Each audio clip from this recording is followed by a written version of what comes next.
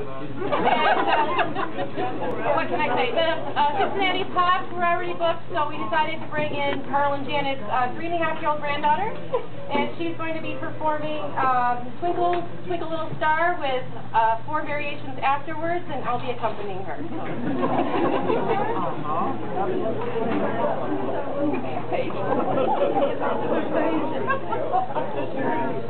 So.